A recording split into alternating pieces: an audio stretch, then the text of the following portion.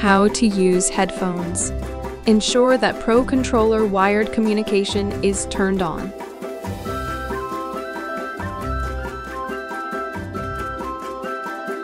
In TV mode, connect the switch dock and the controller using the included cable.